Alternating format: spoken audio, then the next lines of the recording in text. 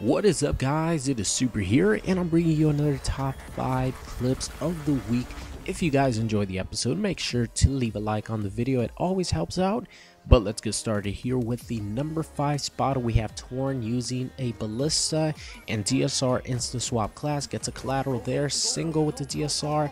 And look at that, what a nice lineup for the 5 on screen. And next up at the number 4 spot, we have Wolf playing some drop zone on hard hat. Sees all of these snipers here in the middle of the map, gets 3 headshots, turns and gets a double headshot for the split 5 on screen headshot feed with the thermal MSR. Such a nice clip. But now moving on to the number 3 spot, we have I Saw here playing some kill confirmed Nuketown. And you know what that means. It's going to be a crazy clip right here. These guys keep spawning and he keeps picking them off. 5 on screen right there and then a collateral to end it for the six on screen. What a crazy clip. But now moving on to the number two spot. Back to Modern Warfare 3 we go. Bootleg here.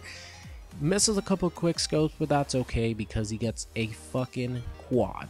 And now for the number one spot, we have Blur here playing some Black Ops 2 on studio and hits one of the craziest clips that I've ever seen. I actually had to rewatch this multiple times because I couldn't believe it when I saw it. Sees one guy and hits a quad. They lined up so perfectly that at first glance you can't even see the four guys. Crazy, crazy clip.